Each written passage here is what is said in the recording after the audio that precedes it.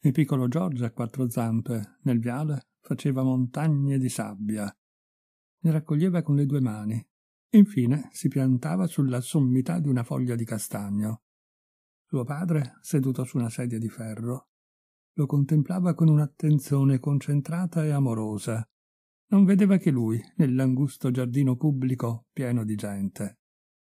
Lungo l'intero viale, curvo, che passa davanti alla vasca e davanti alla chiesa della Trinité, per poi tornare indietro dopo aver costeggiato il prato, altri bambini erano occupati allo stesso modo nei loro piccoli giochi da cuccioli mentre le governanti, indifferenti, guardavano per aria con i loro occhi abbruttiti, e mentre le madri chiacchieravano tra loro, vigilando sulla marmaglia con continue occhiate. Nutrici passeggiavano a due a due con aria seria, lasciando strascicare dietro sé i lunghi nastri smaglianti dei loro capelli e portando tra le braccia qualcosa di bianco avvolto nei merletti, mentre ragazzine con i vestiti corti e le gambe nude si intrattenevano in seri colloqui tra due corse con il cerchio e il custode in camice verde errava in mezzo a quel popolo di marmocchi aggirandosi tortuosamente per non demolire quelle opere di terra per non disturbare il lavoro da formiche di quelle minuscole larve umane. Il sole stava per eclissarsi dietro i tetti di rue Saint-Nazaire e proiettava i suoi grandi raggi obliqui su quella folla birichina e agghindata. I castagni si illuminavano di riflessi gialli e tra le cascate, davanti all'alto portale della chiesa, sembravano d'argento liquido. Il signor Parent guardava suo figlio accovacciato nella polvere, seguiva i suoi più piccoli gesti con amore. Sembrava inviare baci con la punta delle labbra a tutti i movimenti di George. Ma alzando gli occhi verso l'orologio del campanile, constatò che era in ritardo di cinque minuti. Allora si alzò, prese in braccio il piccino, scrollò i suoi indumenti pieni di terra, asciugò le sue mani e lo portò con sé verso Rue Blanche. Affrettava il passo per non rientrare dopo sua moglie. Il ragazzino, che non riusciva a seguirlo, trotterellava al suo fianco. Allora il padre lo prese in braccio e, accelerando ancora l'andatura, cominciò a sbuffare di fatica risalendo il marciapiede in pendenza. Era un uomo di quarant'anni, già brizzolato, un po' corpulento, che portava a spasso con aria inquieta un buon ventre da ragazzo gioviale che gli eventi hanno reso timido. Qualche anno prima aveva sposato una giovane donna, amata teneramente, e che ora lo trattava con una durezza e un'autorità da despota onnipotente. E lo sgridava in continuazione per tutto ciò che faceva e per tutto ciò che non faceva. Gli rimproverava aspramente ogni sua piccola azione, le sue abitudini, i suoi piaceri semplici, il suo comportamento, i suoi gesti, la rotondità della vita e il suono placido della voce. Tuttavia, lui l'amava ancora, ma soprattutto amava il figlio che aveva avuto da lei, George, e che ora aveva tre anni, ed era diventato la gioia più grande e la maggior preoccupazione del suo cuore.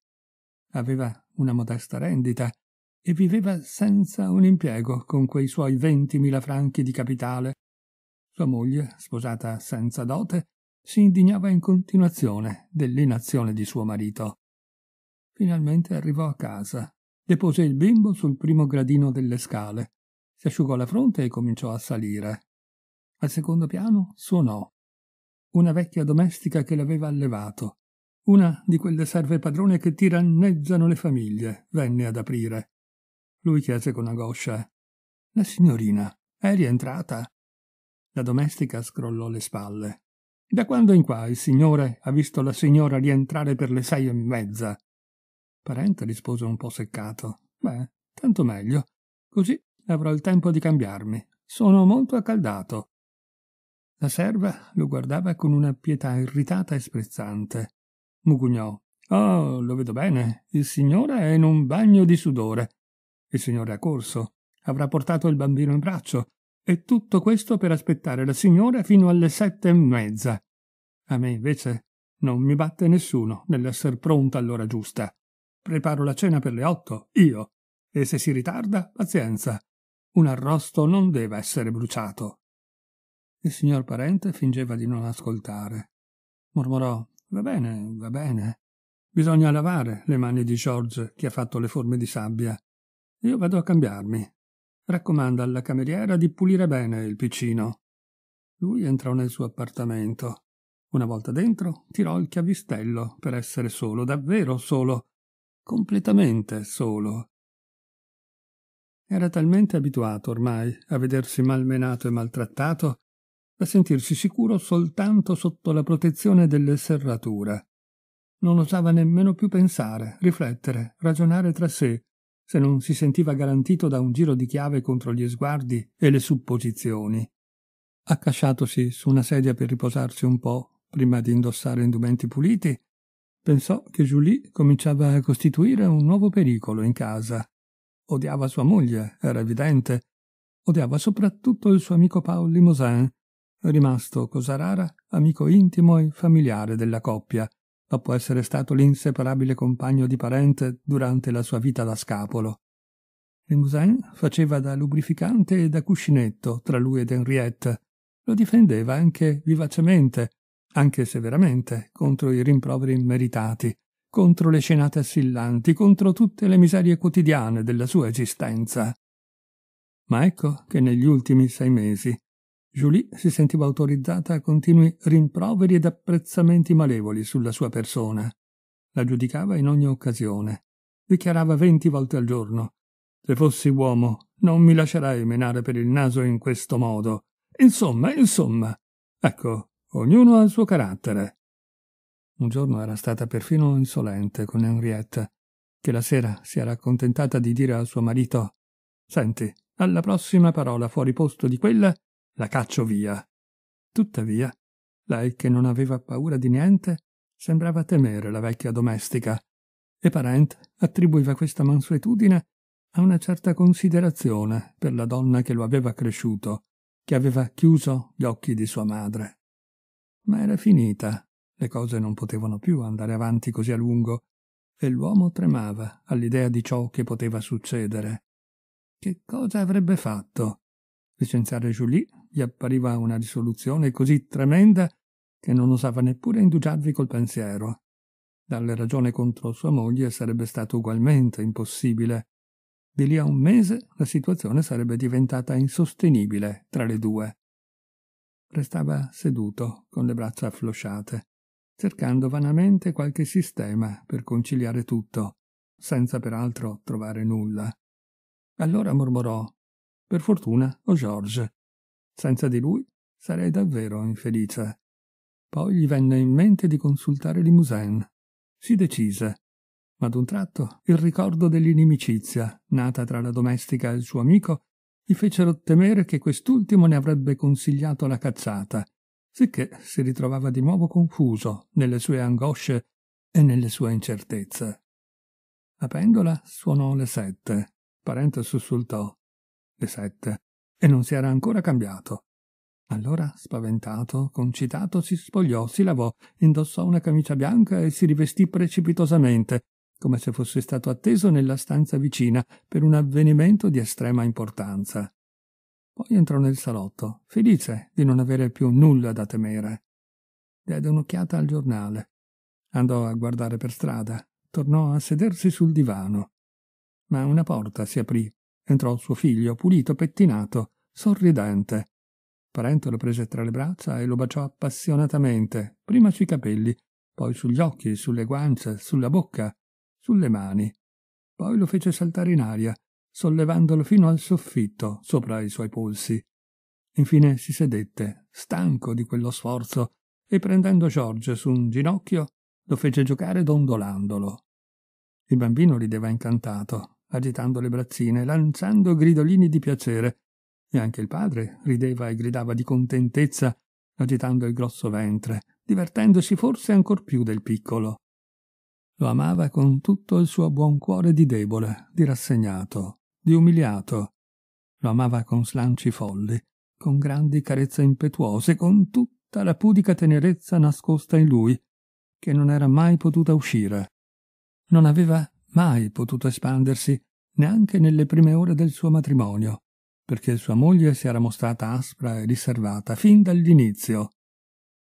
Julie apparve sulla porta, col viso pallido e gli occhi lucidi, annunciando con voce tremante per l'esasperazione. Sono le sette e mezza, signore. Parente gettò sulla pendola uno sguardo inquieto e rassegnato, mormorando Effettivamente sono le sette e mezza. Ecco, la mia cena ora è pronta. Sentendo odor di tempesta, Parente cercò di schivarla. Ma non mi hai detto quando sono rientrato che non l'avresti preparata prima delle otto? Alle otto? Non direte sul serio. Ora vorreste far mangiare il bambino alle otto. Si dice tanto per dire, ma si distruggerebbe lo stomaco al piccino se lo si facesse mangiare alle otto. Oh, dipendesse solo da sua madre. Come se ne preoccupa di suo figlio. Ah, bella madre davvero. Fa proprio pena vedere madri così. Parente tutto tremato d'angoscia, sentì che bisognava tagliar netto quella minacciosa scenata. Julie, disse, non ti permetto di parlare così della tua padrona. Hai capito? Non dimenticartene in futuro. La vecchia serva, soffocata dallo stupore, girò i tacchi e uscì sbattendo la porta con tanta violenza che tutti i cristalli del lampadario tintinnarono. Per qualche secondo fu una specie di lieve e vaga suoneria di campanelle invisibili che volteggiavano nell'aria silenziosa del salotto. George, sorpreso sulle prime, cominciò a battere le mani, felice, e gonfiando le guance fece un grosso boom con tutta la forza dei suoi polmoni per imitare il frastuono della porta. Allora suo padre gli raccontò delle storie, ma la preoccupazione della sua mente gli faceva perdere continuamente il filo del racconto, e il piccino, che non capiva più, sgranava occhi stupiti. Parente non toglieva gli occhi dalla pendola. Gli sembrava di veder camminare la lancetta. Avrebbe voluto fermare il tempo, renderlo immobile fino all'arrivo di sua moglie.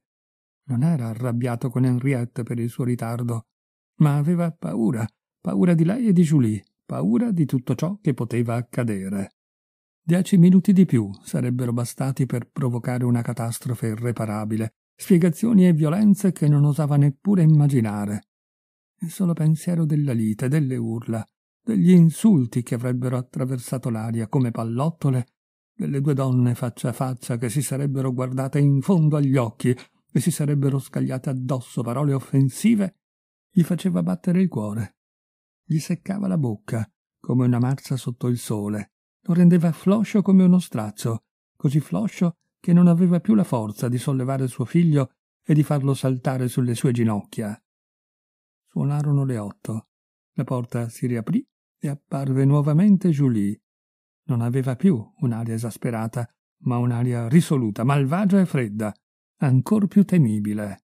Signore, disse, ho servito vostra madre fino all'ultimo giorno e ho cresciuto da quando siete nato fino ad oggi. Credo si possa dire che sono devota alla famiglia. Rimase in attesa di una risposta. Parente balbettò. Ma sì, cara Julie. Proseguì. Sapete bene che non ho mai fatto niente per denaro, ma sempre nel vostro interesse, che non vi ho mai ingannato né mentito, che non avete mai avuto motivo di rimproverarmi. Ma sì, cara Julie. Ebbene, signore, non può durare più a lungo. Per l'amicizia che vi porto, non dicevo niente. Vi lasciavo nella vostra ignoranza. Ma ora è troppo. Ridono troppo di voi nel quartiere.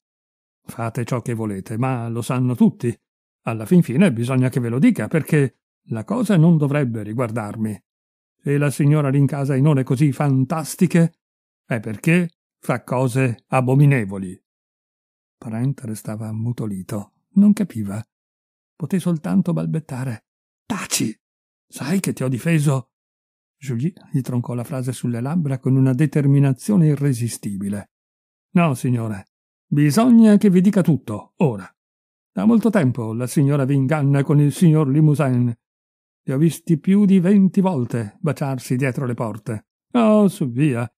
Se il signor Limousin fosse stato ricco, la signora non avrebbe certo sposato il signor Parent se il signore rammentasse semplicemente come è andato il matrimonio. Capirebbe tutto quanto al volo. Parente si era alzato, livido, balbettante. Taci, taci! Oh! Julie continuò. No, vi dirò tutto.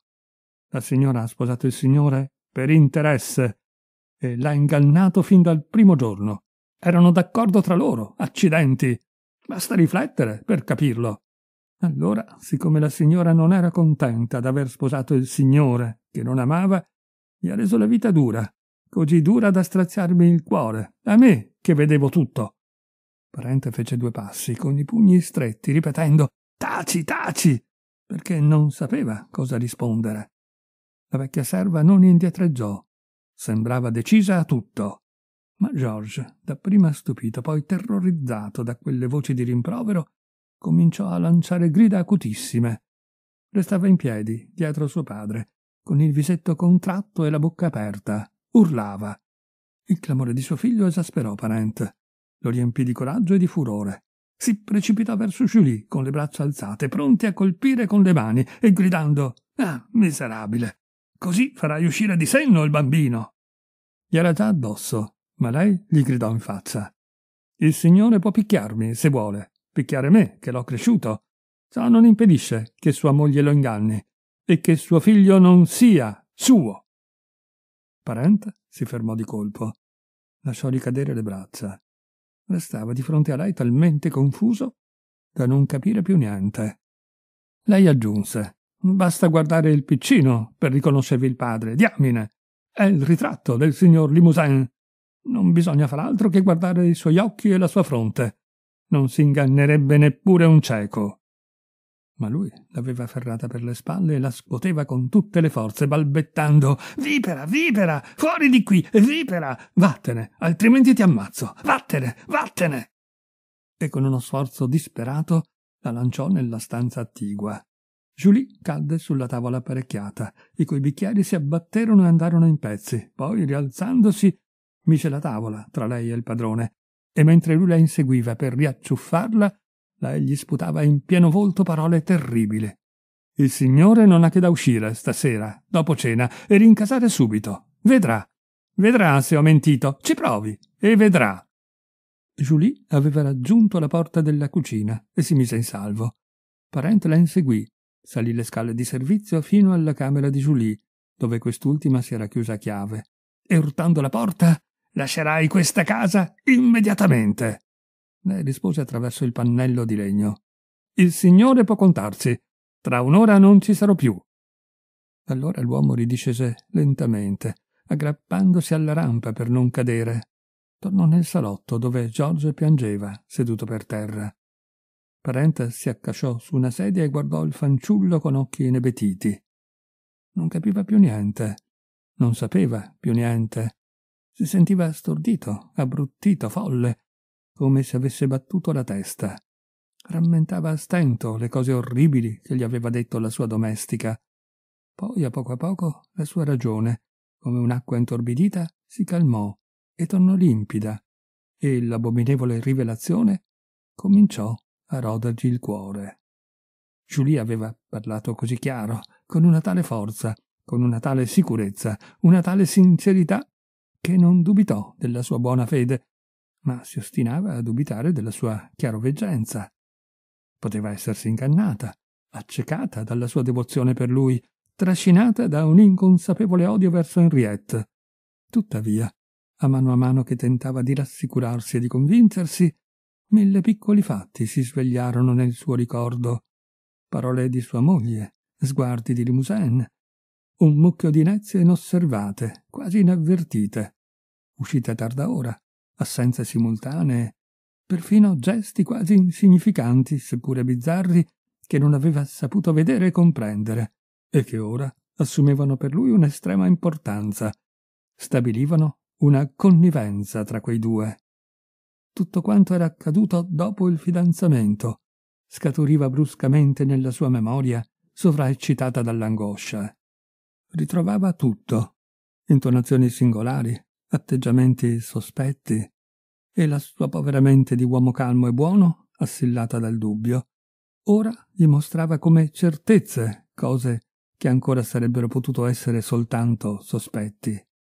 Frugava con accanita ostinazione nei suoi cinque anni di matrimonio, cercando di ritrovare tutto, mese dopo mese, giorno dopo giorno, e ogni cosa inquietante che scopriva gli trafiggeva il cuore come il pungiglione di una vespa.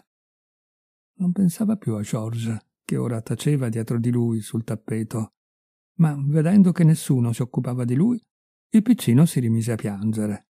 Suo padre allora si lanciò, lo prese tra le braccia e gli coprì la testa di baci. Gli restava almeno suo figlio. Che importava il resto? Lo teneva, lo stringeva, la bocca nei suoi capelli biondi, confortato, consolato, balbettando George, mio piccolo George, caro piccolo George. Ma bruscamente rammentò ciò che aveva detto Julie. Sì, aveva detto che suo figlio era di Limousin. Oh, non era possibile per Dio. No, non poteva crederci. Non poteva sospettarlo, neppure per un secondo. Era solo una di quelle odiose infamie che germinano nelle anime ignobili delle serve. Ripeteva George, mio caro George. Il bambino accarezzato si era placato di nuovo. Parent sentiva il calore del piccolo petto penetrare nel suo attraverso la stoffa. Quel calore lo riempiva d'amore, di coraggio, di gioia, Quel calore dolce di fanciullo lo accarezzava, lo fortificava, lo salvava. Allora scostò un po' da sé quella testolina riccioluta per guardarla con passione. La contemplava avidamente, perdutamente, ubriacandosi di quella vista e ripetendo sempre Oh, piccino mio, mio piccolo George. D'un tratto pensò E se assomigliasse a Limousin? avvenne in lui qualcosa di strano, di atroce, una lancinante e violenta sensazione di freddo in tutto il corpo, in tutte le membra, come se le sue ossa improvvisamente fossero diventate di ghiaccio. Oh, se assomigliasse a Limousin. E continuava a guardare Georges, che ora rideva.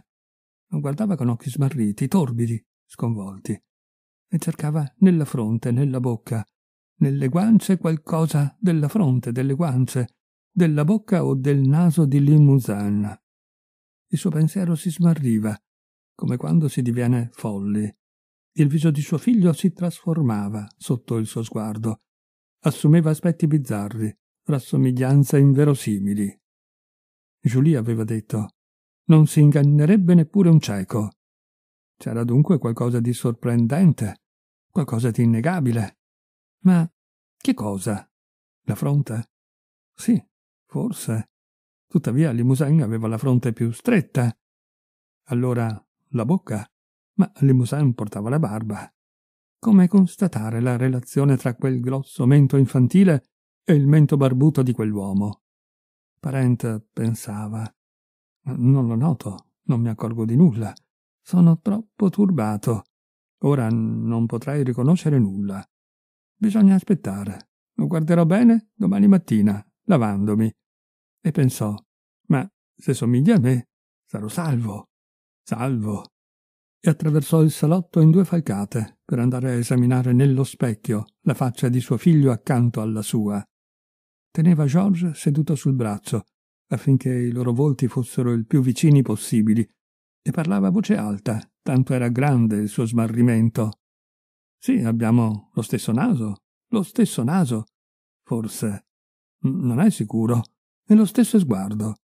Ma no, lui ha gli occhi azzurri. Allora. Oh, Dio mio. Mio Dio, mio Dio.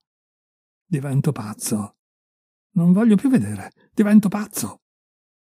Scappò lontano dallo specchio, dalla parte opposta del salotto. Cadde su una poltrona. Posò il piccino su un'altra e si mise a piangere. Piangeva con grandi singhiozzi disperati. George, stupito di sentir gemere suo padre, cominciò subito ad urlare. Suonò il campanello della porta. Parente fece un balzo, come se fosse stato attraversato da una pallottola. Disse: Eccola, che cosa farò? E corse a chiudersi nella sua stanza per avere almeno il tempo di asciugarsi gli occhi. Ma dopo pochi secondi una nuova scampanellata lo fece ancora sobbalzare. Poi si ricordò che Julie se n'era andata senza che la cameriera fosse stata avvertita. Nessuno dunque sarebbe andato ad aprire? Che fare? Andò lui. Ecco che tutto a un tratto si sentiva coraggioso, risoluto, pronto per la dissimulazione e la lotta. La spaventosa scossa l'aveva maturato in pochi istanti. E poi voleva sapere. Lo voleva con tutto il furore del timido e con la tenacia del bonaccione esasperato. Eppure tremava. Era paura? Sì, forse. Aveva ancora paura di lei? Chissà quanta viltà frustrata si cela a volte dietro l'audacia. Dietro la porta che aveva raggiunto con passo furtivo, si fermò per ascoltare. Il suo cuore batteva a colpi furiosi. Udiva soltanto quel rumore, quei gran colpi sordi nel suo petto e la voce acuta di George che continuava a gridare nel salotto. D'improvviso il suono del campanello, scoppiando nella sua testa, lo scosse come un'esplosione. Allora afferrò la serratura e ansimando, sentendosi venir meno, fece girare la chiave e tirò il battente. Sua moglie e Limousin erano in piedi, di fronte a lui, sulle scale. Le disse con aria di stupore da cui traspariva una certa irritazione. Da quando in qua vieni tu ad aprire? Dov'è Julie? Lui aveva la gola stretta, la respirazione accelerata. Si sforzava di rispondere, senza riuscire a pronunciare una parola. Lei proseguì. È diventato muto? Ti ho chiesto dov'è Julie. Allora Parent balbettò. Lei è. è. è andata via. Sua moglie cominciò ad arrabbiarsi. Come è andata via? Dov'è? Perché? Lui ritrovava a poco a poco il suo controllo e sentiva nascere in sé un odio irritante contro quella donna insolente, in piedi davanti a lui. Sì, è andata via per sempre. L'ho licenziata. L'hai licenziata? Julie? Ma sei pazzo? Sì, l'ho licenziata perché era stata insolente e perché ha maltrattato il bambino. Julie? Sì, Julie. A proposito di che cosa è stata insolente? A proposito di te. A proposito di me? Sì, perché aveva bruciato la cena e tu non rincasavi. E ha detto? Ha detto cose sgarbate nei tuoi confronti e che io non dovevo, non potevo sentire. Quali cose? È inutile ripeterle. Desidero conoscerle. Ha detto che era una grande sventura per un uomo come me aver sposato una donna come te, mai puntuale, disordinata, trascurata, cattiva padrona di casa, cattiva madre e cattiva sposa. La giovane donna era entrata nell'anticamera, seguita da Limousin, che non diceva una parola dinanzi a quella situazione inattesa. Lei chiuse bruscamente la porta, dettò il mantello su una sedia e marciò dritta verso suo marito, balbettando esasperata. Vuoi dire, vuoi dire che sono. Parente era pallidissimo, calmissimo. Rispose: Io non dico niente, mia cara. Ti ripeto soltanto le frasi di Julie che tu hai voluto conoscere e ti faccio notare che l'ho messa alla porta proprio a causa di queste frasi. Henriette fremeva del violento desiderio di strappargli la barba e le guance con le unghie. Nella voce, nel tono, nel comportamento intuiva chiaramente la ribellione, benché non potesse rispondere nulla, e così cercava di riprendere l'offensiva con qualche parola diretta e ingiuriosa. Hai cenato? gli chiese. No, ti ho aspettato. Lei scrollò le spalle, spazientita. È sciocco aspettare dopo le sette e mezza. Avresti dovuto capire che ero stata trattenuta, che avevo avuto delle commissioni, dei giri da fare. Poi, tutt'a un tratto, sentì il bisogno di spiegare come aveva impiegato il proprio tempo e raccontò con frasi brevi, altere, che mentre si trovava a scegliere dei mobili lontano, molto lontano, in Rue de Rennes, tornando aveva incontrato Limousin alle sette passate, in Boulevard Saint-Germain, e che allora gli aveva chiesto di accompagnarla a mangiare un boccone in un ristorante dove non osava entrare da sola, benché si sentisse svenire dalla fame. Ecco come aveva cenato con Limousin, se la si poteva chiamare cena. Infatti avevano preso solo un brodo e mezzo pollo, tanto avevano fretta di tornare. Parente rispose semplicemente Ma hai fatto bene, non ti rimprovero per questo. Allora Limousin, rimasto muto fino a quel momento, quasi nascosto dietro Henriette, si avvicinò e tese la mano, mormorando Come stai? Parente prese quella mano offerta e, stringendola mollemente, Benissimo, grazie. ma la giovane donna aveva colto una parola nell'ultima frase di suo marito. Rimproveri. Perché parli di rimproveri? Si direbbe che hai qualche idea per la testa. Lui si scusò. No, affatto. Volevo semplicemente risponderti che non mi ero inquietato per il tuo ritardo e che non te ne facevo una colpa. Lei reagì con arroganza, cercando un pretesto per litigare. Per il mio ritardo? Sembra quasi che sia l'una del mattino e che abbia trascorso la notte fuori di casa. Ma no, cara. Ho detto ritardo perché non mi viene in mente un'altra parola. Dovevi tornare alle sei e mezza e invece sei tornata alle otto e mezza. Se questo non è un ritardo. Lo capisco benissimo. Io non, non, non me ne stupisco neppure, ma, ma, ma mi è difficile usare un altro termine. Il fatto è che lo pronunci come se avessi dormito fuori casa. Ma no, ma no. Henriette intuì che avrebbe finito per cedere come al solito e stava per rientrare nella sua camera quando si accorse che George urlava. Allora chiese col viso agitato Che cos'ha il bambino? Ti ho detto che Julie lo aveva un po' malmenato. Che cosa gli ha fatto, quella canaglia? Oh, quasi niente, lo ha spinto ed è caduto. La donna volle vedere suo figlio e si precipitò nella sala da pranzo. Quindi si fermò di colpo davanti alla tavola coperta di vino versato, di caraffe e di bicchieri in frantumi, di saliere rovesciate. Che cos'è questo fracasso? È Julie che ma lei gli troncò la parola, furibonda. Ah, insomma, questo è troppo. Julie mi dà della svergognata, picchia mio figlio, rompe i piatti, mette a soqquadro la mia casa. E a quanto pare tu trovi tutto questo naturale. Ma no, dal momento che l'ho licenziata. Ma davvero? L'hai licenziata? Bisognava farla arrestare. E in questi casi si chiama il commissario di polizia. Lui balbettò. Ma cara, non potevo, non c'era ragione, davvero. Era molto difficile. Lei scrollò le spalle con infinito disprezzo. Tu non sarai mai nient'altro che uno straccio, un poveraccio, un miserabile senza volontà, senza fermezza, senza energia. Ah, devi avertene dette, Julie, per spingerti a metterla alla porta. Avrai voluto esserci, per un minuto, un solo minuto.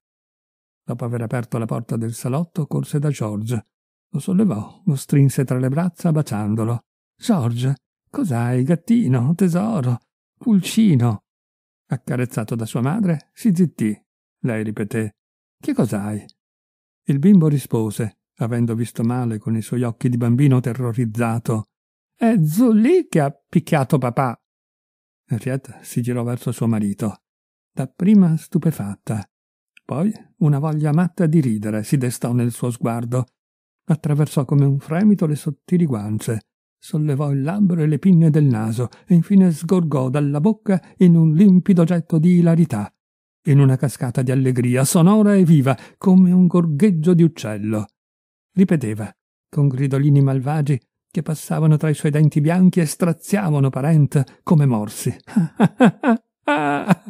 Lei ti ha pip picchiato. che buffo, che buffo.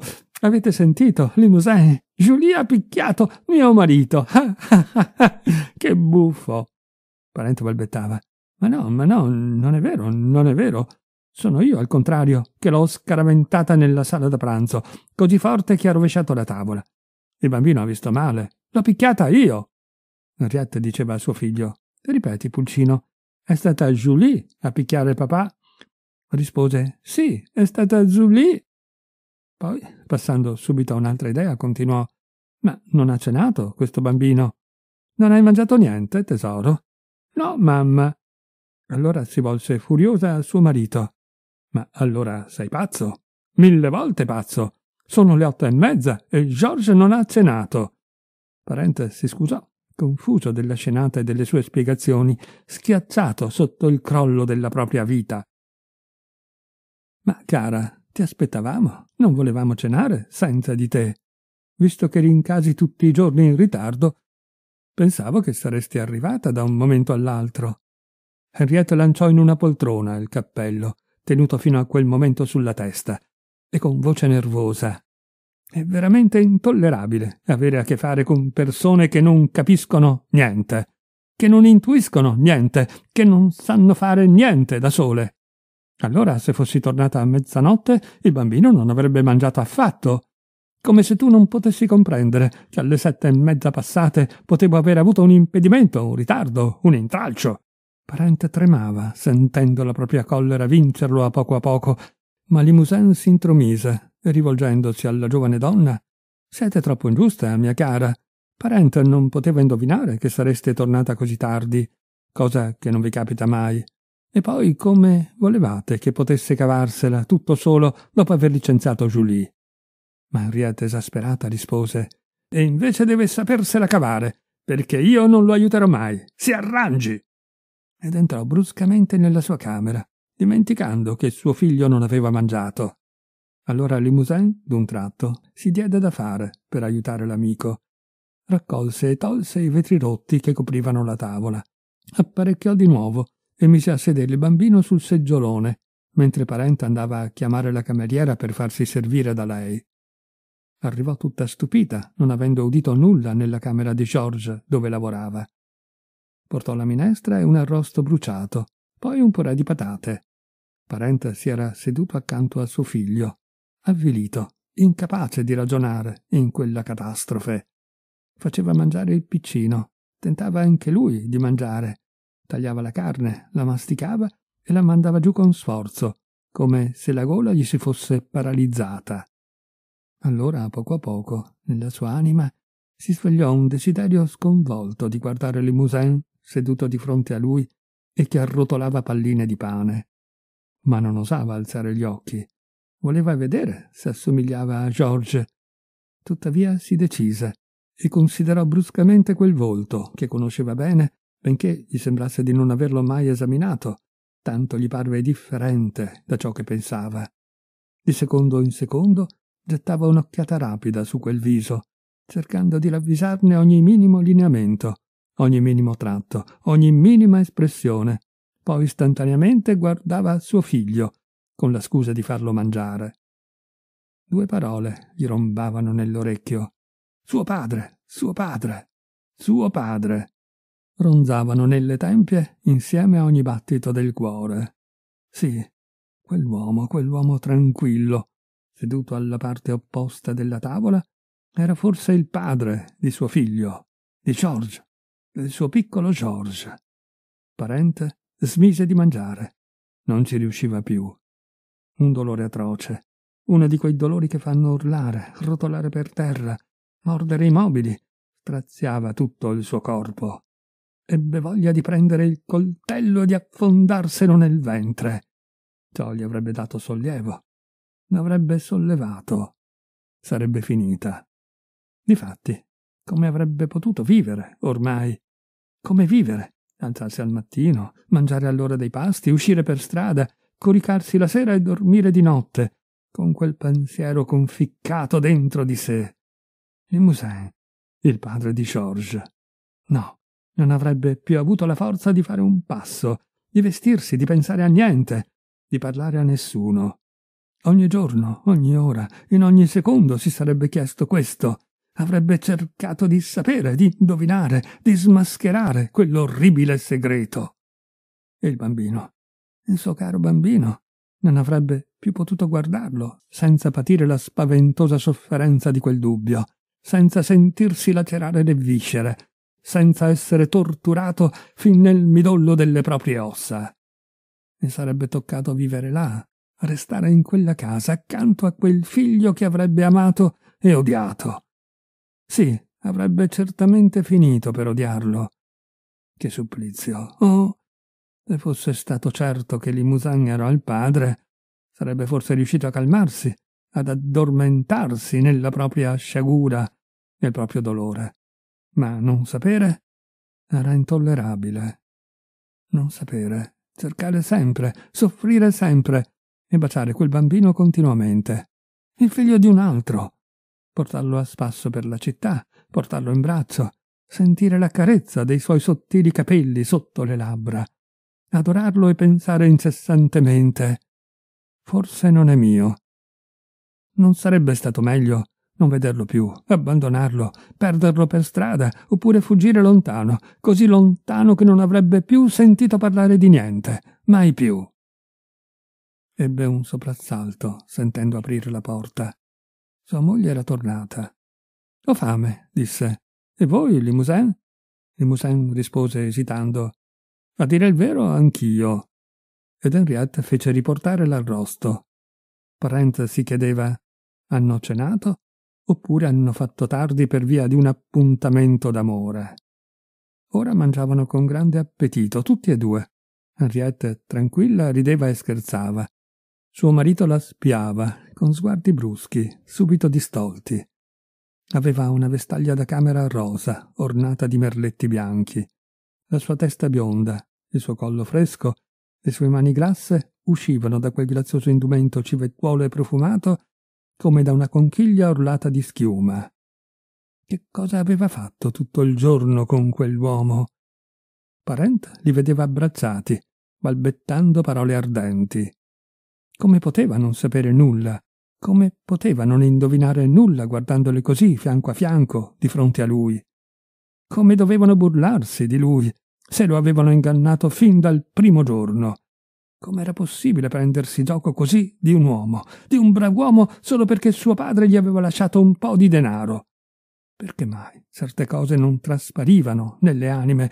Perché mai poteva succedere che nulla rivelasse ai cuori onesti le frodi dei cuori infami, che la stessa voce potesse mentire e adulare al tempo stesso, e lo sguardo furbo che inganna fosse simile allo sguardo sincero? Li spiava, aspettando un gesto, una parola, un'intonazione. D'un tratto pensò Stasera li coglierò in fallo. E disse Cara, visto che ho licenziato Julie, devo occuparmi fin d'ora di trovare un'altra domestica. Esco subito per procurarmene qualcuna già per domattina. Forse rientrerò un po' tardi. Lei rispose Va pure, io non mi muovo di qui. Limousin mi terrà compagnia. Ti aspetteremo. Poi, rivolgendosi alla cameriera, Andate a mettere a letto George, dopodiché potrete sparecchiare e salire in camera vostra. Parent si era alzato, vacillava sulle gambe, stordito, traballante. Mormorò a fra poco e raggiunse l'uscio appoggiandosi alla parete perché il pavimento oscillava come una barca. George se n'era andato tra le braccia della governante. Henriette e Limousin si trasferirono in salotto. Una volta chiusa la porta, Ah, ma sei impazzita, disse lui, ad assillare così tuo marito. Lei si girò. Ah, sai, comincio a trovare eccessiva questa tua abitudine di fare da qualche tempo di Parent un martire. Limousin si gettò su una poltrona e accavallando le gambe.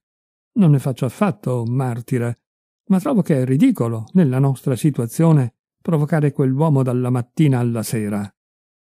Henriette prese una sigaretta sul camino, la accese e rispose Ma io non lo provoco, tutt'altro. Soltanto che la sua stupidità mi irrita e lo tratto come merita. Limousin continuò con voce impaziente. È insensato ciò che fai. Del resto, tutte le donne sono simili. Come?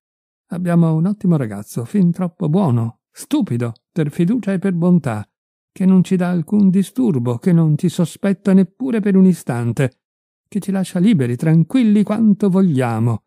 E tu fai tutto il possibile per farlo andare in collera e per rovinare la nostra vita. Henrietta si voltò. Senti, cominci a seccarmi. Sei un vigliacco tu, come tutti gli uomini. Hai paura di quel cretino. Limousin si alzò di scatto e furioso. Ah, questa poi Vorrei proprio sapere che cosa ti ha fatto e perché gliene vuoi. Ti rende infelice? Ti picchia? Ti tradisce? No. È troppo, insomma, far soffrire un poveretto solo perché è troppo buono e volergliene unicamente perché lo inganni. Henriette si avvicinò a Limousin e guardandolo in fondo agli occhi. E sei proprio tu a rimproverarmi di ingannarlo. Tu, tu, tu. Devi avere proprio la coscienza sporca. Limousin si difese con un po' di vergogna. Ma io non ti rimprovero nulla, cara. Ti chiedo soltanto di risparmiare un po' tuo marito, perché abbiamo bisogno l'uno dell'altra, della sua fiducia. questo, mi sembra. Dovresti capirlo. Erano vicinissimi l'uno all'altra. Lui grande, bruno, con lunghi favoriti, il portamento un po' volgare del bel giovane contento di sé, lei minuta, rosea e bionda, una piccola parigina metà sgualdrina e metà borghese, nata in un retrobottega, educata sulla soglia del negozio ad adescare i passanti con un'occhiata, e andata per caso in moglie con il passante innamoratosi di lei per averla vista ogni giorno davanti a quella porta, uscendo al mattino e rientrando la sera. Lei diceva Ma non capisci, grandissimo sciocco, che la odio proprio perché mi ha sposata, perché dopo tutto mi ha comprata, perché tutto quel che dice, tutto quel che fa, tutto quel che pensa mi dà ai nervi. Mi esaspera continuamente per la sua idiozia, che tu chiami bontà, per la sua pesantezza, che tu chiami fiducia, e soprattutto perché è mio marito, lui, invece di te. Lo sento tra noi due, anche se non ci dà quasi fastidio. E poi, e poi, no, è troppo scemo, insomma, a non sospettare nulla. Vorrei che fosse almeno un po' geloso. Ci sono momenti in cui ho voglia di gridare. Ma non lo vedi, bestione, non capisci che Paul è il mio amante. Limousin si mise a ridere. Nell'attesa farei bene a tacere e non turbare la nostra esistenza. Voilà, che non la turberò. Con quell'imbecille non c'è nulla da temere. È incredibile che tu non comprenda quanto mi è odioso, quanto mi snerva. Tu hai sempre l'aria di vezzeggiarlo, di stringergli la mano con franchezza. Gli uomini a volte sono sorprendenti. Bisogna pur saper dissimulare, mia cara. Non si tratta di dissimulazione, caro, ma di sentimenti. Voi altri, quando ingannate un uomo, si direbbe che l'amiate subito di più. Noi donne, invece, li odiamo dal momento in cui li abbiamo ingannati. Non vedo proprio perché dovrai odiare un bravo ragazzo cui porto via la moglie. Non lo vedi? Non lo vedi? Insomma, è un tratto che manca a tutti voi, questo. Che vuoi che ti dica? Sono cose che si sentono e che non si riescono ad esprimere. E poi, perché non si dovrebbe? No, non lo capiresti. È inutile. Voi uomini siete privi di sensibilità. E sorridendo, con un dolce disprezzo estenuato, posò le due mani sulle spalle di Limousin, porgendogli le labbra. Lui chinò la testa verso di lei, chiudendola in una stretta, e le loro bocche si incontrarono. E poiché erano in piedi, davanti alla specchiera del camino, un'altra coppia del tutto simile a loro si baciava dietro la pendola. Non avevano udito nulla, né il rumore della chiave né il cigolio della porta. Ma Henriette, bruscamente, lanciando un grido acuto, respinse Limousin con le braccia e videro Parente che li guardava, livido, con i pugni chiusi, scalzo, col cappello sulla fronte. Li guardava l'uno accanto all'altro, con un rapido movimento degli occhi, senza muovere la testa. Sembrava folle. Poi, senza dire una parola, si avventurò su Limousin. Lo afferrò con tutte e due le braccia come per strangolarlo, lo scaraventò nell'angolo del salotto con uno slancio così impetuoso che l'altro, perdendo l'equilibrio e agitando inutilmente le mani in aria, andò ad urtare brutalmente il capo contro la parete. Mariette, quando capì che suo marito stava per ammazzare il suo amante, si gettò su Parente. Lo afferrò per il collo e, affondando nella carne le sue dita sottili e rosee, lo strinse così forte, con i suoi nervi di donna perduta, che il sangue finì per sgorgare sotto le sue unghie. Gli morse la spalla, quasi avesse voluto sbranarla con i denti. Parent, strozzato, soffocante, lasciò Limousin per scuotere sua moglie ancora appesa al suo collo e afferratala per la vita la scaraventò con un solo spintone dall'altra parte del salotto. Infine, poiché aveva la collera passeggera dei bonari e la violenza asmatica dei deboli, restò in piedi tra i due, ansimante, sfinito, non sapendo più cosa fare. Il suo furore brutale si era dissipato in quello sforzo come la spuma di un vino appena strappato. La sua energia insolita finiva col fiato corto. Appena poté parlare balbettò Andatevene, tutte e due, subito. Andatevene. Limousin restava immobile nel suo angolo, incollato al muro, troppo sbigottito per capire qualcosa, troppo spaventato per muovere un dito. Henriette, coi pugni appoggiati a un tavolino, la testa in avanti, spettinata, col corsetto aperto, il petto nudo, aspettava, simile a un animale che sta per spiccare il balzo. Parent ripeté con voce ancora più forte. Andatevene subito! Andatevene! Vedendo calmata la sua prima esasperazione, sua moglie prese coraggio, si rialzò, fece due passi verso di lui e quasi da insolente. Hai forse perso la testa? Che cosa ti hai preso? Perché questa aggressione inqualificabile? Parente si girò verso di lei, alzando il pugno per picchiarla e biascicando. Oh, oh, questo è troppo, troppo. E ho, ho, ho sentito tutto, tutto, tutto. Miserabile, miserabile. Siete due miserabili. Andatevene, tutti e due, subito. Vi ucciderò. Andatevene. Lei capì che era finita, che lui sapeva, che non avrebbe più potuto discolparsi e che bisognava cedere. Ma tutta la sua impudenza e tutto il suo odio contro quell'uomo le erano tornati e ormai esasperata la spingevano all'audacia, le infondevano un bisogno di sfida, di spacconeria. Disse con voce limpida: Andiamo, Limousin. Visto che sono cacciata, vengo con voi. Ma Limousin non si muoveva.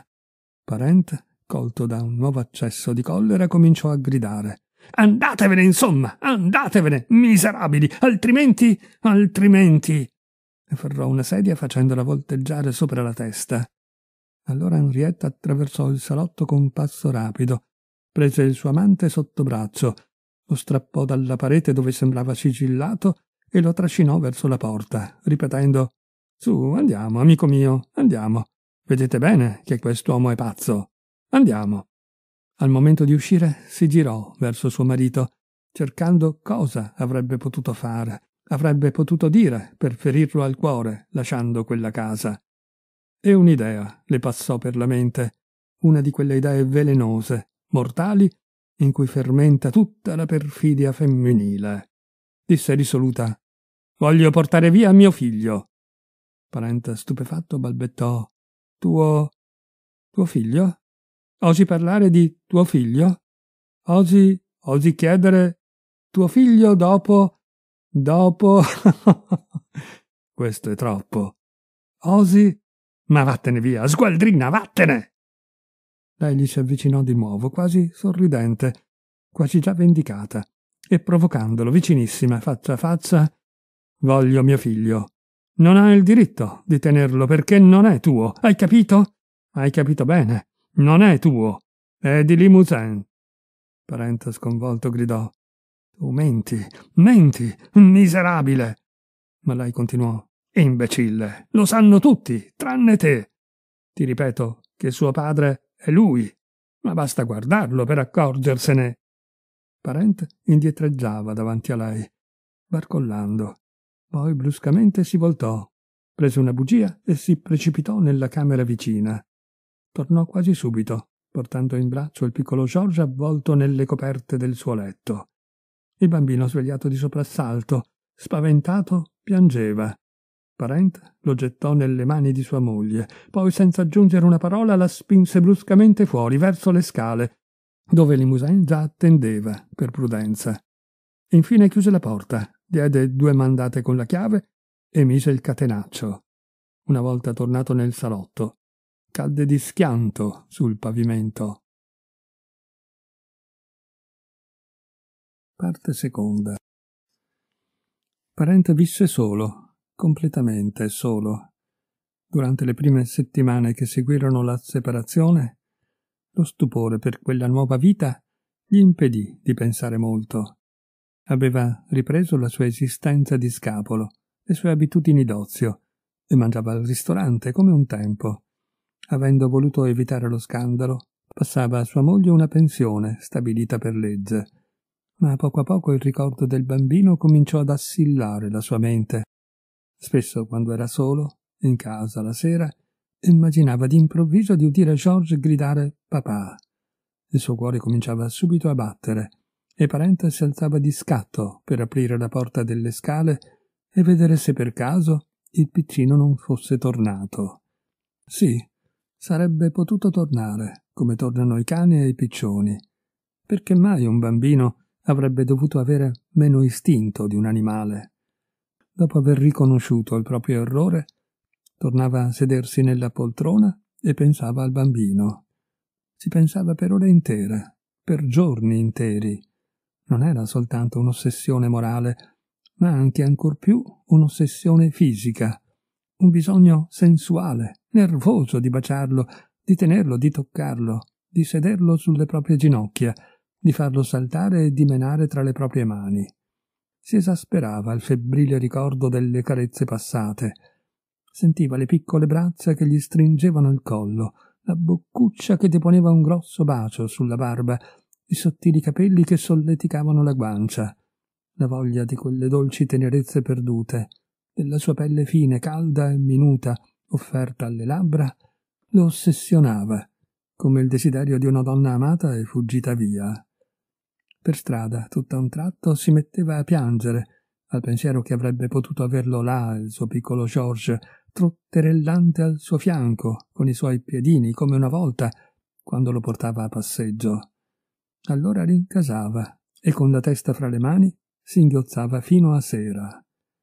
E poi venti volte, cento volte al giorno si faceva la stessa domanda. Era o non era il padre di George? Ma era soprattutto di notte che su questo dilemma si abbandonava a ragionamenti interminabili. Appena coricato, ricominciava ogni sera la medesima serie di argomentazioni disperate. Dopo la partenza di sua moglie, inizialmente non aveva più avuto dubbi. Il bambino indubbiamente apparteneva a Limousin. Poi a poco a poco tornò ad esitare.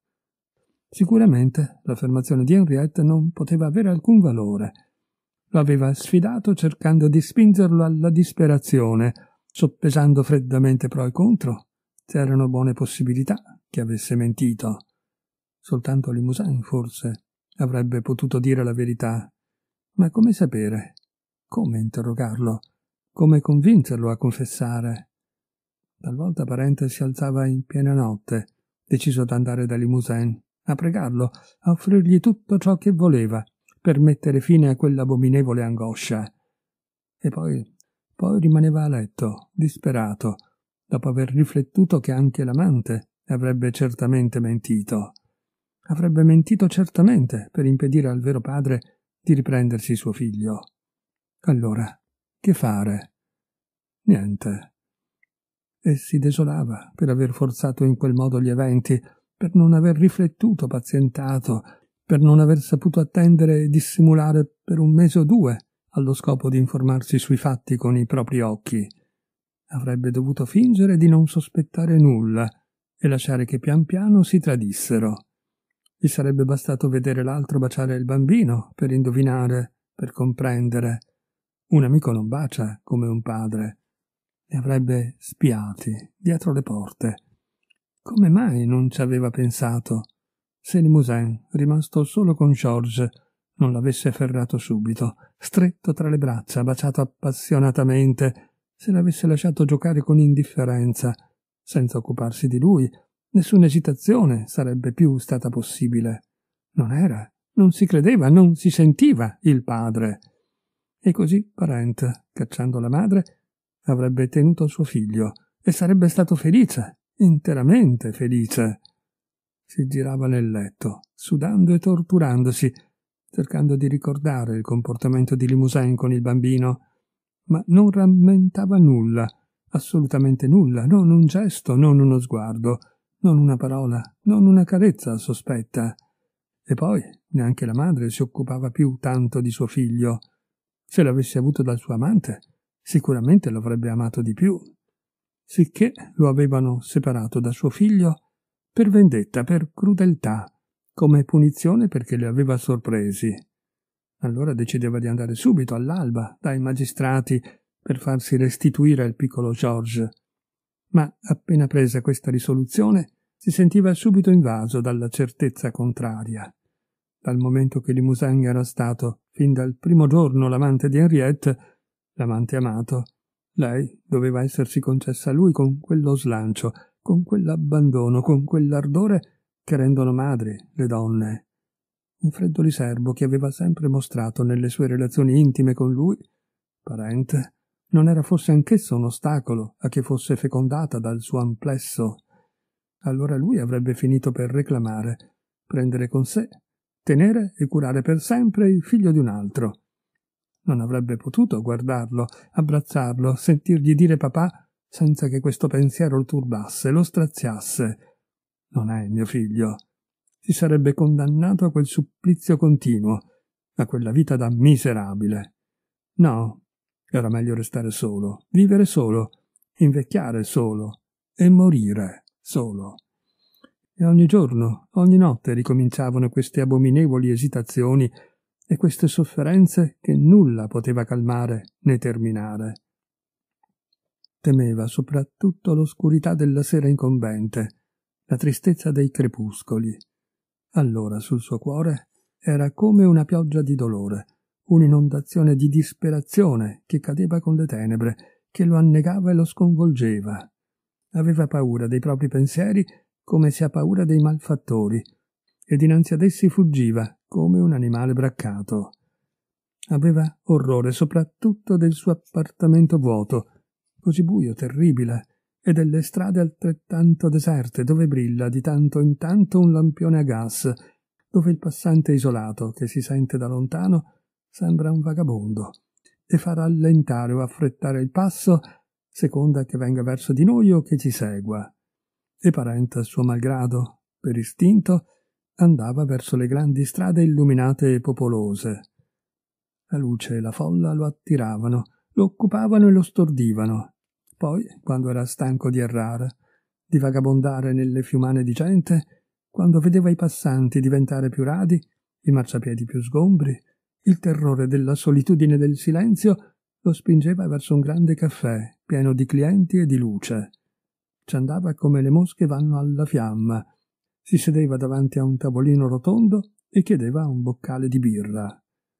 Lo beveva lentamente, inquietandosi ogni volta che un avventore si alzava per andarsene. Avrebbe voluto prenderlo per il braccio, trattenerlo, pregarlo di restare ancora un po', tanto paventava l'ora in cui il cameriere, in piedi davanti a lui, avrebbe pronunciato con aria infuriata Andiamo, signori, si chiude. Infatti, ogni sera era l'ultimo ad uscire.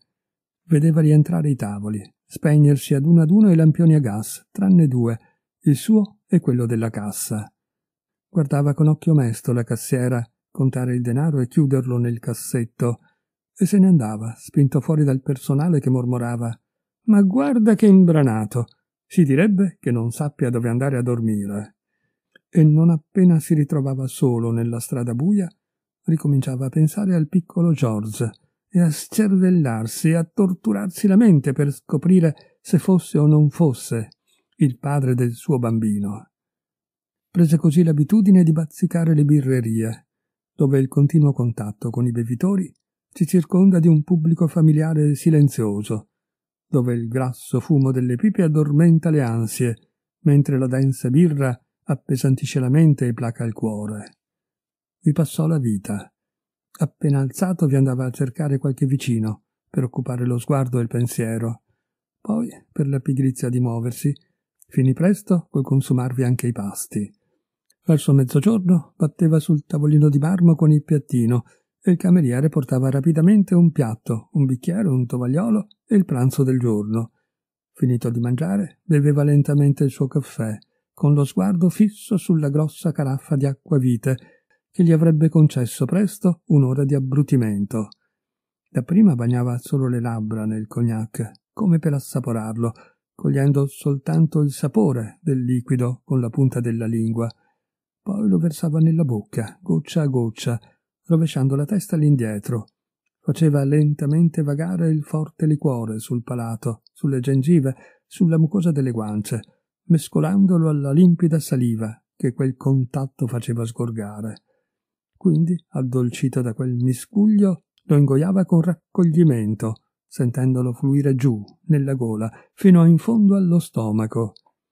Dopo ogni pasto sorbiva così, per oltre un'ora, tre o quattro bicchierini che lo intorpidivano a poco a poco. Allora chinava la testa sul ventre, chiudeva gli occhi e sonnecchiava. Si svegliava a metà pomeriggio, tendendo subito la mano verso il boccale di birra che il cameriere aveva posato davanti a lui durante il suo sonno. Poi, bevutolo, si sollevava sulla panca di velluto rosso, dava una sistemata a pantaloni e panciotto per coprire lo scorcio birichino creatosi nel frattempo tra i due. Assestava il colletto della giacca, tirava i polsini della camicia fuori delle maniche. Quindi riprendeva i giornali, già letti al mattino. Li ripercorreva dalla prima all'ultima riga, ivi comprese le pubblicità, le inchieste d'impegno, gli annunci, il listino della borsa e i programmi dei teatri. Tra le quattro e le sei andava a fare un giro per i viali, per prendere un po' d'aria, diceva, poi tornava a sedersi al posto che gli avevano conservato e ordinava il suo solito assenzio. Allora chiacchierava con i clienti abituali con cui aveva fatto conoscenza. Cominciavano con le notizie del giorno, i fatti di cronaca e gli avvenimenti politici. Così arrivava l'ora di cena. La serata trascorreva come il pomeriggio, fino al momento della chiusura. Per lui era l'istante più terribile, in cui bisognava tornare nell'oscurità, nella camera vuota, piena di spaventosi ricordi, di pensieri orribili e di angosce. Non vedeva più nessuno dei suoi vecchi amici, nessun parente, nessuno che potesse rammentargli la vita passata. E visto che il suo appartamento si stava trasformando per lui in un inferno, prese una camera in un grande albergo, una bella camera allammezzato, per poter vedere i passanti. Non era più solo in questo vasto alloggio pubblico. Sentiva brulicare la gente attorno a sé, udiva voci dietro i tramezzi.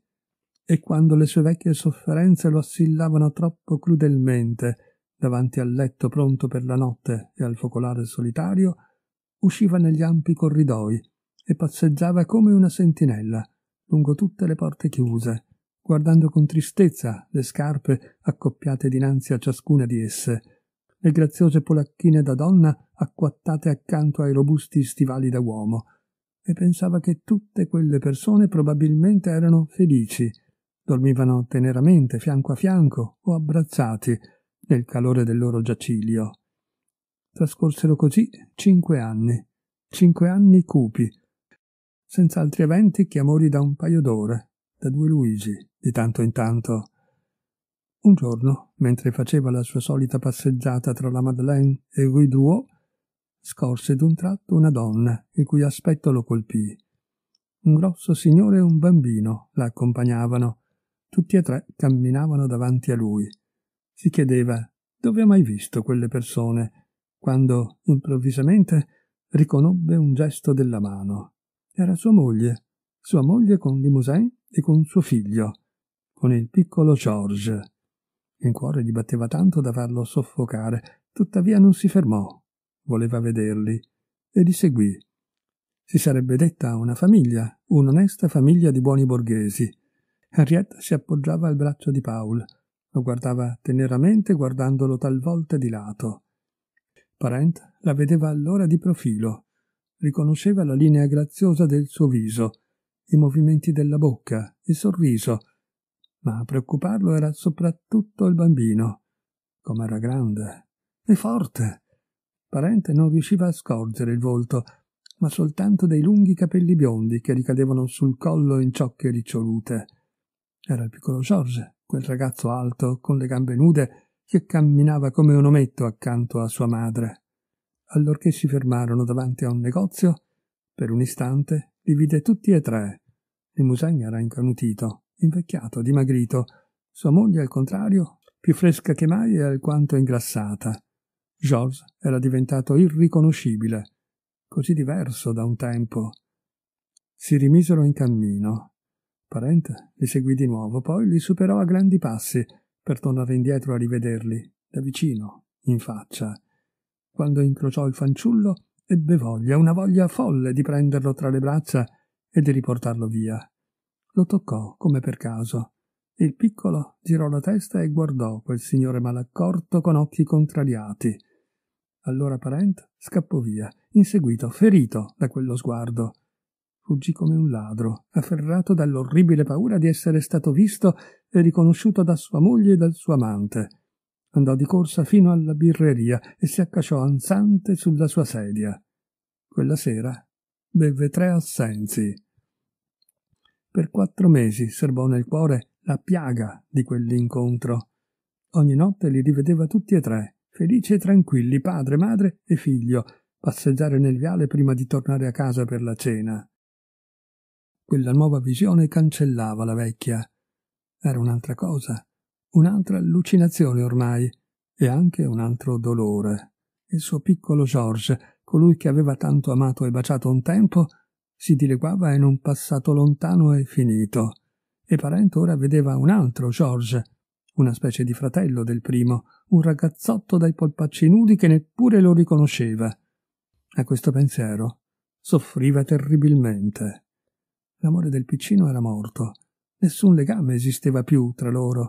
Il bambino non avrebbe più teso le braccia vedendolo, l'aveva perfino guardato con un'occhiata malvagia. Poi, a poco a poco, la sua anima ritrovò pace, le sue torture mentali si affievolirono L'immagine apparsa davanti ai suoi occhi e che ossessionava le sue notti divenne incerta, più rara. Ricominciò a vivere pressappoco come tutti, come ogni disoccupato che beve boccali di birra sui tavoli di marmo e logora il fondo dei pantaloni sul velluto liso delle panche.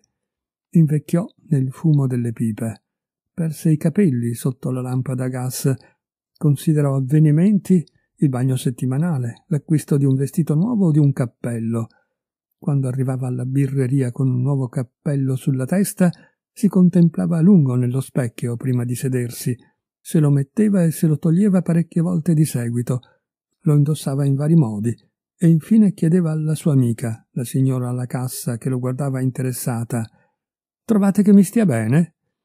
Due o tre volte all'anno andava a teatro ed estate passava talvolta le sue serate in un caffè concerto degli Champs-Élysées. Ne usciva, conservando nella mente arie che riecheggiavano in fondo alla sua memoria per parecchie settimane e che lui stesso canticchiava battendo il tempo con il piede quando era seduto davanti al suo boccale. Gli anni si susseguirono, lenti, monotoni e brevi, perché erano vuoti. Parente non se li sentiva scivolare addosso. Andava incontro alla morte senza muoversi, senza agitarsi, seduto di fronte a un tavolino di birreria. Soltanto il grande specchio, dove osservava il proprio cranio ogni giorno più spoglio, rifletteva i guasti del tempo che passa e fugge divorando gli uomini, i poveri uomini. Ormai non pensava più, se non qualche rara volta, al dramma orribile in cui era sprofondata tutta la sua vita, poiché vent'anni erano trascorsi da quella serata incredibile ma l'esistenza che si era creata in seguito l'aveva logorato, rammollito, esaurito, e spesso il padrone della birreria, il sesto padrone dal suo ingresso in quel locale, gli diceva Dovreste scuotervi un po', signor parente, dovreste prendere un po' d'aria, andare in campagna, vi assicuro che siete molto cambiato negli ultimi mesi. E quando il suo cliente era uscito, il commerciante comunicava le sue riflessioni alla cassiera. Quel povero signor Parent ha preso una brutta china. Non gli giova di certo non lasciare mai Parigi. Consigliategli di andare qualche volta nei dintorni a mangiare una zuppa di pesce, visto che con voi ha un po' di confidenza. L'estate alle porte lo rimetterà in sesto. E la cassiera, piena di pietà e di benevolenza per quell'avventore ostinato, ripeteva ogni giorno a Parent Su via, signore, decidetevi a prendere un po' d'aria. È così bella la campagna quando è bel tempo. Oh, io, se potessi, ci passerei la vita. E gli confidava i suoi sogni, i sogni poetici e semplici di tutte le povere ragazze, chiuse per tutto l'anno dietro le vetrine di un negozio, che guardano passare la vita fittizia e rumorosa della strada, vagheggiando la vita calma e dolce dei campi, la vita sotto gli alberi, sotto il sole radioso, che inonda i prati, i boschi profondi, i limpidi fiumi, le mucche distese sull'erba e tutti i tipi di fiori, fiori di campo, azzurri, rossi, gialli, viola, lilla, rosa, bianchi, così gentili, così freschi, così profumati, tutti i fiori della natura che si raccolgono passeggiando e con cui si fanno grossi mazzi. Provava piacere nel parlargli incessantemente del suo eterno desiderio, irrealizzato e irrealizzabile, e lui, un povero vecchio senza speranze, provava piacere ad ascoltarla. Ora si sedeva accanto alla cassa per chiacchierare con la signora Zoe e discutere sulla campagna assieme a lei. Allora, poco a poco, gli venne un vago desiderio di andare a vedere, una volta, se si stava davvero così bene come dicevano, fuori delle mura della grande città. Un mattino si decise. Sapete dove si può mangiare bene nei dintorni di Parigi? Lei rispose Andate alla terrazza di Saint Germain. È un posto così carino. Vi aveva passeggiato un tempo, all'epoca del fidanzamento. Decise di tornarci. Scelse una domenica, senza una ragione speciale, unicamente perché si è soliti uscire la domenica, anche quando non si fa niente per tutta la settimana. Sicché partì una domenica mattina per Saint Germain. Erano i primi di luglio una giornata calda e luminosa. Seduto accanto allo sportello dello scompartimento, vedeva scorrere gli alberi e le bizzarre casette dei dintorni di Parigi. Si sentiva triste, seccato per aver ceduto a un desiderio nuovo, per aver rotto le proprie abitudini. Il paesaggio mutevole, eppure sempre uguale, lo stancava. Aveva sete. Sarebbe sceso volentieri alla prima stazione per sedersi al caffè, intrevisto dietro l'edificio, bere un boccale o due e riprendere il primo treno per Parigi. E poi il viaggio gli sembrava lungo, lunghissimo. Se ne stava seduto per giorni interi, purché avesse sotto gli occhi le stesse cose immobili, ma trovava snervante e faticoso restare seduto cambiando luogo, veder mutare il paesaggio intero, mentre lui non faceva un movimento. Si interessò tuttavia alla Senna ogni volta che la attraversò. Sotto il ponte di Chatou vide delle iole che passavano, spinte a grandi colpi di remi da cannottieri dalle braccia nude. Pensò, quei giovanotti di sicuro non si annoiano. Il lungo nastro del fiume, che si snodava da un capo all'altro del ponte di Peck, svegliò in fondo al suo cuore un vago desiderio di passeggiare lungo quelle sponde. Ma il treno si inabissò sotto la galleria che precede la stazione di Saint-Germain per fermarsi subito dopo davanti al marciapiede d'arrivo. Parente scese e, appesantito dalla stanchezza, si avviò, con le mani dietro la schiena, verso la terrazza. Poi, arrivato alla ringhiera di ferro, si fermò per guardare l'orizzonte. L'immensa pianura si estendeva di fronte a lui, vasta come il mare, tutta verde e gremita di grossi villaggi, popolosi come città. Strade bianche attraversavano quella vasta contrada, Tratti di foreste la rimboschivano qua e là, gli stagni di Vésinet brillavano come lastre d'argento e le lontane colline di Sanois e di Argenteuil si delineavano dietro una bruma leggera e azzurrognola che le lasciava appena intuire. Il sole inondava con la sua luce abbondante e calda tutto quel grande paesaggio un po' velato dai vapori mattutini, dal sudore della terra riscaldata che si sprigiona in nebbie sottili e dagli aliti umidi della Senna, che si snodava come un serpente senza fine attraverso le piane, circondava i villaggi e costeggiava le colline. Una leggera brezza, carica del profumo delle fronde e delle linfe, accarezzava la pelle, penetrava in fondo al petto, sembrava ringiovanire il cuore, alleggerire lo spirito, vivificare il sangue. Parente, sorpreso, la aspirava a pieni polmoni, con gli occhi abbagliati dalla distesa del paesaggio. Mormorò. Però si sta bene qui. Poi fece due passi e si fermò di nuovo per guardare. Gli sembrava di scoprire cose nuove e sconosciute, non le cose viste dai suoi occhi, ma cose avvertite dalla sua anima, avvenimenti ignorati, felicità intraviste, gioie inesplorate, tutto un orizzonte di vita che non aveva mai sospettato e che si apriva bruscamente davanti a lui di fronte a quella prospettiva illimitata di campagna. Tutta la spaventosa tristezza della sua esistenza gli apparve illuminata dalla luce violenta che inondava la terra. Vide i suoi vent'anni di caffè, tetri, monotoni, mesti, Avrebbe potuto viaggiare come tanti altri, andarsene lontano, lontano, presso popoli stranieri, in terre poco conosciute, al di là dei mari, interessarsi a tutto ciò che appassiona gli altri uomini, alle arti, alle scienze, amare la vita dalle mille forme, la vita misteriosa, incantevole o ardente, sempre mutevole, sempre inesplicabile e insolita. Ormai era troppo tardi. Avrebbe tirato avanti di boccale in boccale fino alla morte, senza famiglia, senza amici, senza speranze, senza curiosità per alcunché. Un infinito scoramento lo invase e una voglia di fuggire, di nascondersi, di tornare a Parigi nella sua birreria e nel suo torpore. Tutti i pensieri, tutti i sogni, tutti i desideri che dormono nella pigrizia dei cuori stagnanti si erano ridestati, scossi da quel raggio di sole sulla pianura.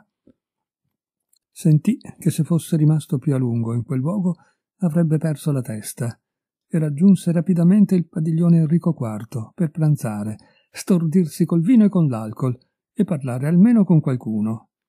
Prese un tavolino nel boschetto da cui si domina tutta la campagna, fece l'ordinazione e pregò che lo servissero alla svelta. Altri gitanti arrivavano, si sedevano ai tavoli vicini. Si sentiva meglio, non era più solo. Sotto un pergolato c'erano tre persone che pranzavano. Li aveva visti parecchie volte senza osservarli attentamente, come si guardano le persone indifferenti. Improvvisamente una voce femminile gli diede uno di quei brividi che fanno fremere il midollo delle ossa. Quella voce aveva detto George, ora taglia il pollo. E un'altra voce rispose Sì, mamma. Parente alzò gli occhi e capì, indovinò subito chi era quella gente. Certamente non avrebbe potuto riconoscerli. Sua moglie era tutta bianca, corpulenta, una vecchia signora seria e rispettabile Mangiava avanzando la testa nel timore di macchiarsi, benché si fosse coperta il seno con un tovagliolo.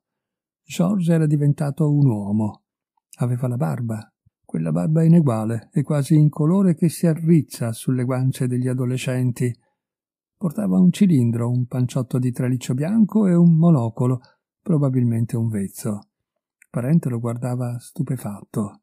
Quello là era proprio George, suo figlio. No, non conosceva quel giovanotto. Non poteva esistere nulla che li accomunasse. Limousin era di spalle e mangiava con la schiena un po' curva. E così quei tre sembravano felici e contenti. Andavano a pranzo in campagna, in ristoranti conosciuti. Avevano avuto un'esistenza calma e mite, un'esistenza familiare, in un buon appartamento caldo e popolato, popolato da tutte le inezie che rendono la vita piacevole, da tutte le dolcezze dell'affetto, da tutte le parole tenere che ci si scambia continuamente quando ci si ama. Avevano vissuto così, grazie a lui, parente, col suo denaro, dopo averlo ingannato, derubato, rovinato. Lo avevano condannato, proprio lui, l'innocente, l'ingenuo, il buono, a tutte le tristezze della solitudine, all'abominevole vita trascorsa tra un marciapiede e una cassa di caffè, a tutte le torture morali e a tutte le miserie fisiche. Avevano fatto di lui un essere inutile, perduto, smarrito tra la gente, un povero vecchio senza gioie possibili, senza aspettative, che non sperava niente, da niente e da nessuno. Per lui la terra era vuota, perché non amava nulla sulla terra. Poteva vagare per le strade e tra la gente, entrare in tutte le case di Parigi, aprire tutte le camere, non avrebbe trovato dietro nessuna di quelle porte il volto cercato, amato, volto di donna o di fanciullo che sorride vedendoti. E lo rodeva soprattutto quest'idea, l'idea della porta che si apre per trovare e abbracciare qualcuno dietro di essa. E tutto questo era colpa di quei tre miserabili, colpa di quella donna indegna, di quell'amico infame e di quel ragazzone biondo che si dava arie arroganti. Ora ce l'aveva col ragazzo come con gli altri due. Non era forse il figlio di Limousin? In caso contrario, Limousin lo avrebbe cresciuto e amato. Non avrebbe lasciato ben presto madre e figlio se non avesse saputo che il bambino era suo, veramente suo. Si crescono forse i figli degli altri? Dunque erano là, vicinissimi quei tre malfattori che lo avevano tanto fatto soffrire. Parente li guardava, irritandosi, esaltandosi al ricordo di tutti i suoi dolori, di tutte le sue angosce, di tutte le sue disperazioni. Ciò che più lo esasperava era la loro aria placida e soddisfatta. Aveva voglia di ucciderli, di scaraventare loro addosso il suo sifone di acqua di seltz, di spaccare la testa a Limousin, che vedeva abbassarsi continuamente verso il tovagliolo e risollevarsi subito dopo. E avrebbero continuato a vivere così, senza preoccupazioni, senza inquietudini di sorta. No, no, era troppo. Si sarebbe vendicato. Lo avrebbe fatto subito, dal momento che li aveva sotto mano. Ma come? Rimuginava pensava a qualcosa di spaventoso, come succede nei romanzi d'appendice, ma non trovava nulla di pratico. E beveva un bicchiere dietro l'altro, per eccitarsi, per farsi coraggio, per non lasciarsi sfuggire una simile occasione che probabilmente non gli sarebbe capitata mai più. Improvviso ebbe un'idea, un'idea terribile, e smise di bere per maturarla. Un sorriso gli increspava le labbra, mormorava li ho in pugno, li ho in pugno. Ora lo vedremo, ora lo vedremo. Un cameriere gli chiese Il signore desidera qualcos'altro? Niente, un caffè e un po' di cognac, il migliore. E li guardava, sorseggiando i suoi bicchierini. C'era troppa gente in quel ristorante per ciò che aveva in mente di fare. Dunque avrebbe aspettato, li avrebbe seguiti. Infatti sarebbero certamente andati a passeggiare sulla terrazza o nel bosco. Quando si sarebbero un po' allontanati li avrebbe raggiunti e allora si sarebbe vendicato, sì, si sarebbe vendicato. Non era troppo presto, d'altronde, dopo ventitré anni di sofferenze. Ah, non sospettavano minimamente che cosa li attendeva. Finivano tranquillamente il loro pranzo, chiacchierando con sicurezza. Parente non poteva udire le loro parole, ma vedeva i loro gesti calmi. A esasperarlo era soprattutto il volto di sua moglie. Aveva assunto un'aria altera, un'aria di grassa bigotta, da bigotta inaccessibile, corazzata di principi, blindata di virtù. Dopo un po' pagarono il conto e si alzarono. Allora vide Limousin, si sarebbe detto un diplomatico in pensione, tanto sembrava importante, con i suoi bei favoriti soffici e bianchi, le cui punte ricadevano sul bavero della finanziera. Uscirono. George fumava un sigaro e portava il cappello sul 23. Parent li seguì subito. Dapprima fecero un giro sulla terrazza e ammirarono il paesaggio, placidamente, come ammirano le persone sazie, e quindi entrarono nella foresta. Parente si fregava le mani e continuava a seguirli, da lontano, nascondendosi per non destare troppo presto la loro attenzione. Procedevano a piccoli passi, facendo un bagno di verde e di aria tiepida. Henriette si appoggiava al braccio di Limousin e camminava dritta al suo fianco, la sposa sicura e fiera di sé. George abbatteva le foglie col bastone. A volte oltrepassava i fossati della strada col salto leggero del puledro pronto a fuggire via nel fogliame. Parenta poco a poco si avvicinava, ansimando di emozione e di fatica. Non era più abituato a camminare. Presto li raggiunse, ma lo colse una paura, una paura confusa e inesplicabile, e li superò per andare loro incontro e accostarli frontalmente. Andava col batticuore, sentendoli ora dietro di sé, e si ripeteva Forza, è il momento, un po' di audacia un po' di audacia. È il momento. Si girò. Erano seduti tutti e tre sull'erba, ai piedi di un grosso albero. Continuavano a conversare. Allora si decise e tornò indietro a passi rapidi. Fermatosi dinanzi a loro, in piedi in mezzo al sentiero, balbettò con voce secca, una voce rotta dall'emozione. Sono io, eccomi. Non mi aspettavate, eh? Tutti e tre esaminavano quell'uomo, che sembrava pazzo. Continuò. A quanto pare non mi avete riconosciuto.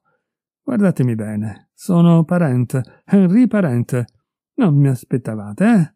Pensavate che fosse finita, finita davvero, che non mi avreste visto mai più, mai più.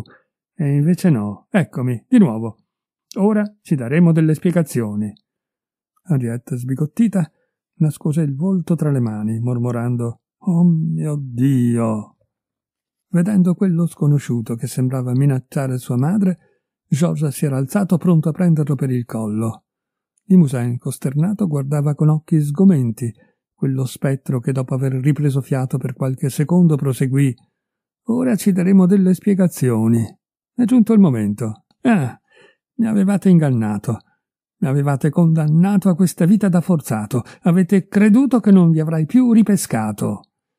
Ma il giovanotto la ferrò per le spalle e respingendolo Siete pazzo? Che cosa volete? Sloggiate subito, altrimenti vi darò una lezione. Parente rispose Che cosa voglio? Voglio insegnarti chi è questa gente. Ma Giorgio, esasperato, lo scuoteva. Stava per picchiarlo. L'altro continuò Lasciami, sono tuo padre. Oh, guarda un po' se ora mi riconoscono, questi miserabili. Attonito il giovane aprì le mani e si voltò verso sua madre. Parente, libero, avanzò verso di lei. Eh, diteglielo voi, chi sono. Ditegli che mi chiamo Henri Parent e che sono suo padre, dato che si chiama George Parent, dato che voi siete mia moglie, dato che vivete tutti e tre col mio denaro, con la pensione di diecimila franchi che vi ho segnato da quando vi ho cacciati da casa mia. Ditegli anche perché vi ho cacciati da casa mia. Perché vi ho sorpresa con questo furfante, con questo infame, col vostro amante. Ditegli chi ero io. Un brav'uomo, sposato da voi a causa del mio patrimonio e ingannato fin dal primo giorno. Ditegli chi siete voi e chi sono io. Balbettava, ansimava, trascinato dalla collera. La donna gridò con voce straziante Paul, Paul, impedisciglielo. Fallo tacere, fallo tacere, impedisciglielo. Non deve dire tutto questo davanti a mio figlio. Limousin a sua volta si era alzato. Mormorò con voce bassissima Tacete, tacete, rendetevi conto di ciò che state facendo. Parente proseguì con impeto. So perfettamente cosa sto facendo. E non è tutto. C'è una cosa che voglio sapere una cosa che mi tortura da vent'anni. Poi, rivolgendosi a George, che confuso si era appoggiato contro un albero. E tu, ascolta. Quando lei se n'è andata da casa mia, ha pensato che non fosse abbastanza d'avermi tradito. Ha voluto farmi disperare ancor più. Tu eri tutta la mia consolazione. Ebbene, ti ha portato via, giurandomi che non ero tuo padre, che tuo padre era lui, ha mentito? Non lo so. Da vent'anni me lo domando. Avanzò verso di lei, tragico, terribile, e strappando via la mano con cui lei si copriva il volto. Ebbene, vi intimo, oggi, di dirmi chi di noi due è il padre di questo giovane, lui o me, vostro marito o il vostro amante. Su, su, ditelo.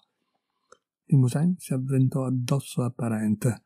Quest'ultimo lo respinse e sghignazzando con furore Eh, oggi sei coraggioso, più coraggioso del giorno in cui ti mettevi in salvo sulle scale perché stavo per ammazzarti. Ebbene, se lei non risponde, rispondi tu stesso. Devi saperlo quanto lei. Dillo, sei tu il padre del ragazzo? Su, su, parla. Tornò verso sua moglie. Se non volete dirlo a me, Ditelo almeno a vostro figlio. È un uomo oggi. Ha ben diritto di sapere chi è suo padre. Io non lo so. Io non l'ho mai saputo. Mai, mai. Io non posso dirtelo, ragazzo mio. Stava perdendo la testa. La sua voce assumeva toni acuti e agitava le braccia come un epilettico. Ecco, ecco, rispondete insomma. Lei non lo sa. Scommetto che non lo sa. No, non lo sa. Perbacco andava a letto con entrambi. nessuno lo sa, nessuno. Chi può saperle certe cose? Non lo saprai neanche tu, figliuolo. Non lo saprai come non lo so io, mai. Su, chiediglielo, chiediglielo. Vedrai che non lo sa. Neanche io, neanche lui, neanche tu. Nessuno lo sa. Puoi scegliere, sì, puoi scegliere. Lui o me, scegli. Buonasera, è finita. Se tua madre si decidesse a dirtelo, vieni a dirmelo. Albergo dei continenti, vero? Mi farà piacere saperlo. Buonasera. Vi auguro buon divertimento. e se ne andò, gesticolando, continuando a parlare da solo sotto i grandi alberi, nell'aria vuota e fresca, piena di profumi e di linfe. Non si voltò per guardarli. Andava avanti, camminando dietro a una spinta di furore, dietro a un sospiro di esaltazione, con la mente esaltata dalla sua idea fissa. D'un tratto si trovò davanti alla stazione. Un treno partiva. Vi salì. Lungo il tragitto la sua collera si placò. Parente tornò in sé e rientrò a Parigi, stupefatto della propria audacia. Si sentiva spossato come se gli avessero spezzato le ossa. Ciononostante andò a farsi un boccale nella sua birreria. Vedendolo entrare, la signorina Zoe, sorpresa, gli chiese Già di ritorno? Siete stanco? Parente rispose Sì, sì, molto stanco. Capirete. Quando non si è abituati ad uscire.